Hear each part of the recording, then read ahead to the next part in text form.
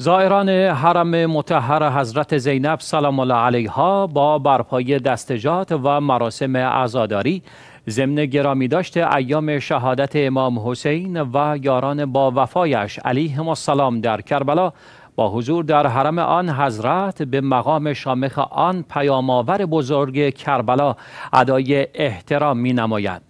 تولیت حرم متحر حضرت زینب در بیانیه‌ای که خبرگزاری اخبار شیعه آن را پیگیری نموده اعلام کرد هر شب در محبته پارکینگ جنوبی داخل حرم متحر حضرت زینب سلام الله علیها مجالس اعضای حسینی برگزار و انبوهی از مردم مؤمن از داخل و خارج سوریه برای بزرگداشت این مصیبت بزرگ در آن شرکت می کند.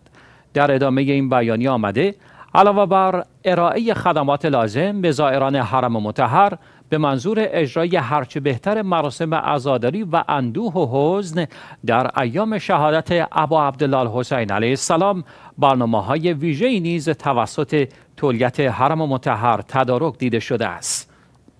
گفتنی است به منظور گرامی داشته یاد و خاطره فداکاری های شرافتمندانه امام حسین علیه السلام و یاران با وفایش حرم متحر حضرت زینب سلام الله علیها در دهه اول ماه محرم الحرام شاهد افراشته شدن پرچم های سیاه تسلیت و نیز